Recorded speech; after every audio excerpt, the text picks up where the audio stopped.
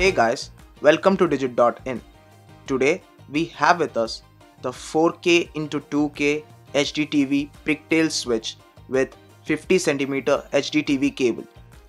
The 4K into 2K translates to basically 4096 into 2160 pixels resolution.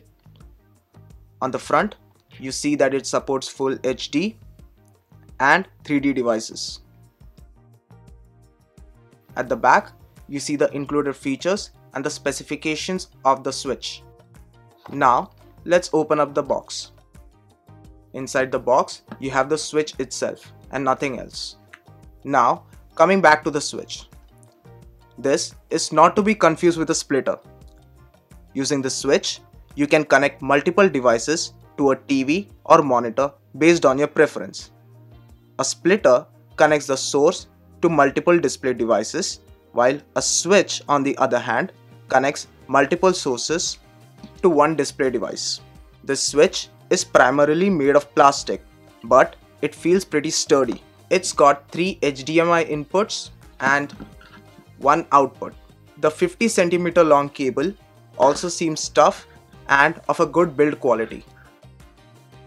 On the top, you have a button which switches between the three devices that you want to be streamed onto your TV or monitor.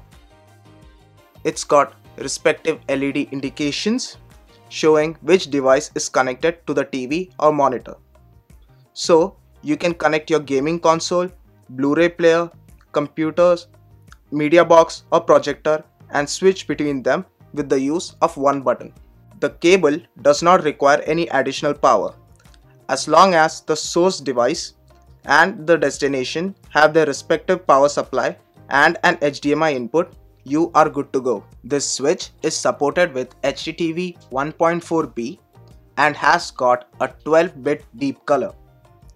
It maintains high HDTV resolutions up to 1080p, 4K into 2K resolutions at 30Hz refresh rate, 4K resolutions on PCs, and a 3D display.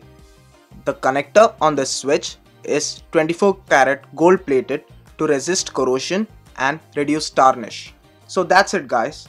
That was the unboxing of the 3 into 1 HDTV pigtail switch with 50cm HDTV cable.